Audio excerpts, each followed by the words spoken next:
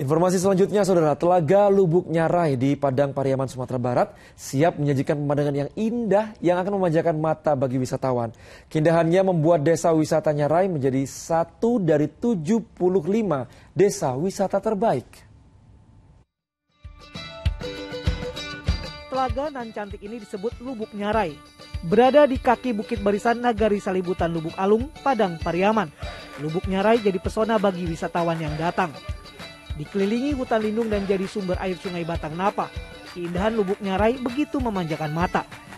Berada di desa wisata Nyarai, Lubuk Nyarai siap jadi primadona wisata.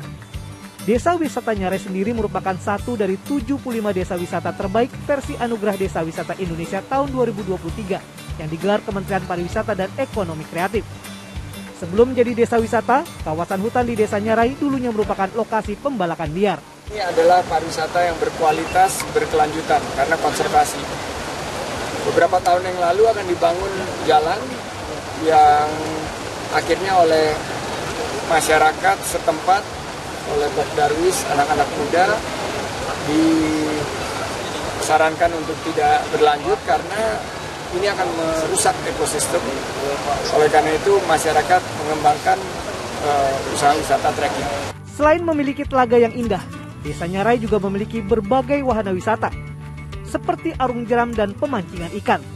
Arset Kusnadi melaporkan dari Padang Pariaman, Sumatera Barat.